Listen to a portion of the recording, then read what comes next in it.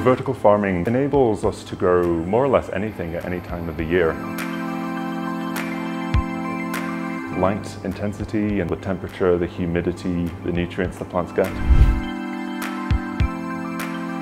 More or less everything in the plant's growth cycle we have control over. So it might be minus five outside, but it's 24 degrees where we're stood here. And that allows us to supply to local restaurants to really shorten the supply chains. Really, I'm just blown away that we've got this tower that goes right to the roof. Well, to have a, a place like this just down the road is simply a dream come true.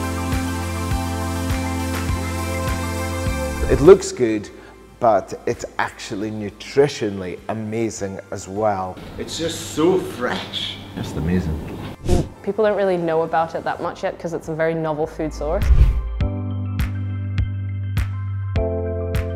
So we want to look at what do Scottish consumers think of vertical farming? Are they open to have it as a food source, especially with the technology that's involved? So it's so exciting to have a chef on board. So we have the consumers, the chefs, farmers, retailers. We want all of those different people interacting with each other.